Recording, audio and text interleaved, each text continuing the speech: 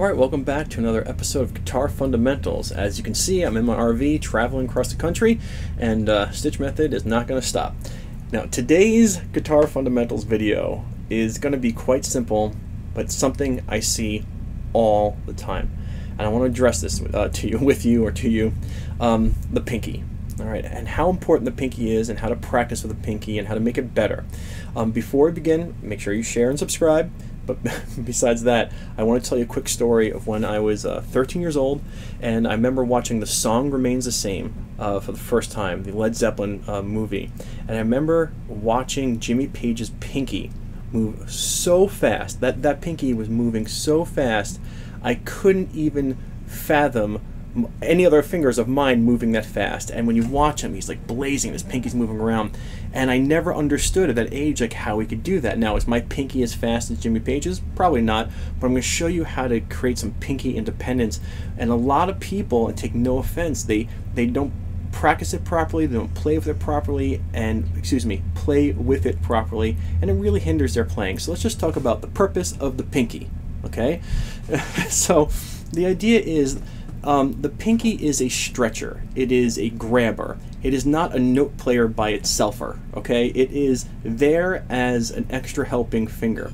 If you picture, uh, I'm 5'10", right, and um, I'm sure all of you have had this experience, not being 5'10", but you go to reach for something like on the top shelf and you can like barely get it, and so you kind of like start like expanding all your joints and your tippy toes. You just kind of get it and you can wiggle and grab it, and you're like, how did I do that? And you kind of stretch yourself out.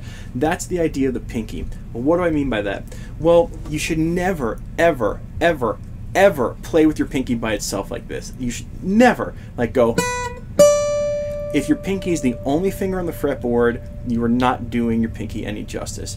Your pinky is a stretcher, and what I mean by that is if you're playing the 7th fret with your uh, index finger, and let's say you get up with your ring finger on the 10th fret, then your pinky should is the one to stretch the 12th fret if you need to do like a pull off, or Alright, this is the job of the pinky. Notice a couple things. Number one, it's stretched out. Number two, my first finger is down creating the stretch. Number three, you can see how massive the stretch is between the pinky and the index finger. The pinky has to learn how to stretch out. That's where it gets its strength from and its dexterity. If you do this as a player, you're never going to develop the muscles and the dexterity needed to get your pinky to play properly. A lot of P's in this, okay? So the idea is, how do you practice this? How do you get your pinky on board? Well, there's so many ways to do it. The first way to do it, of course, is with a blues shuffle. All right, and so if you want to do this like on the seventh fret, seventh fret power chord, seven and nine, you want to play with this pinky getting up. Sorry, seventh fret E, ninth fret A, and you want to get this pinky up to the eleventh fret of the uh, D string, uh, A string, excuse me, and you want to you know keep your first finger down.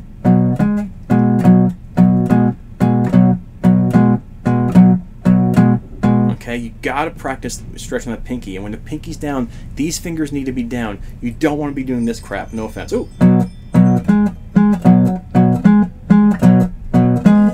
You can't do that. That's not going to do anything. Once you let go of the pressure, the pinky is deflated. You got to make sure you're stretching. Now, to take this practice exercise to the next level, you want to play the chorus to Sweet Home Alabama, which is going to be a 10th fret power chord blues shuffle down to the 8th fret, and then a good stretch. Look at these fingers stretch the 3 and 5, and get that pinky up to the 7th fret.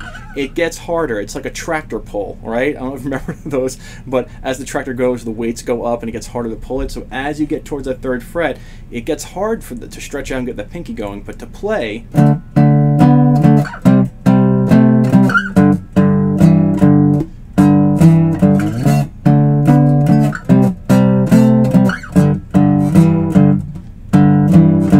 one great way to practice stretching your pinky. Another great way to practice that I told you about already, but you want to talk about it, let's do it on the fifth fret. It's really hard.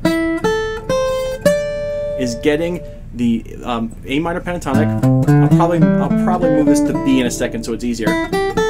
First finger's down on the five and five. Ring finger up on the eighth fret and the pinky to ten. Oh, sorry right? And this this helps. Uh, this is hard. Stretch and also get the pinky into the proper position. If I did it, let's say let's say 10th fret, right?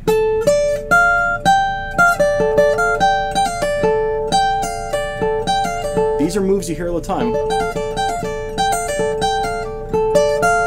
All right, the pinky needs to stretch and it needs to be there when the first finger is attached. Never ever are you going to play a note with just your pinky off with, with everything else off. It, that's not the job, okay? If you if you're playing like this, no good. Stretch.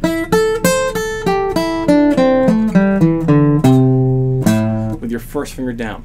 The last bit of advice I can give to you for your pinky is to practice a very simple exercise where you're going to go one, two, three, and stretch uh, and skip over a fret. So it's five, six, seven, and then to nine with a pinky.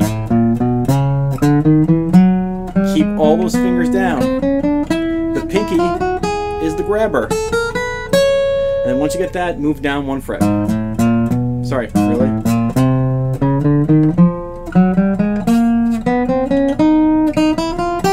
All right, you got to practice this. You want to start up here? Sorry, really?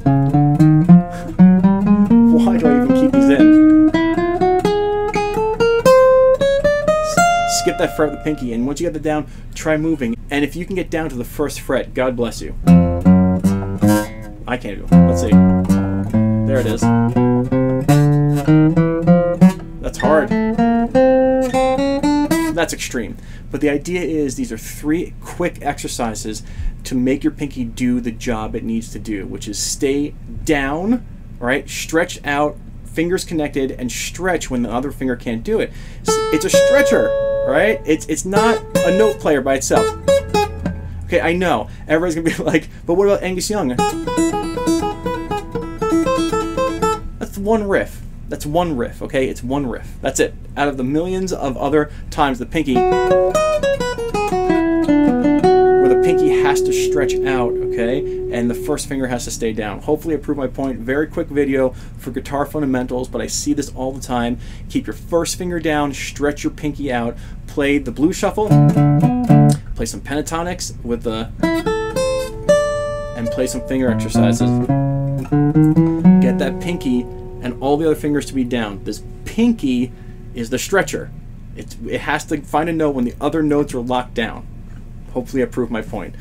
Thank you for being here. Rock and roll. Take care. Bye bye.